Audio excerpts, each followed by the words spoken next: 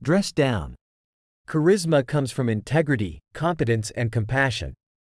Not from expensive clothes.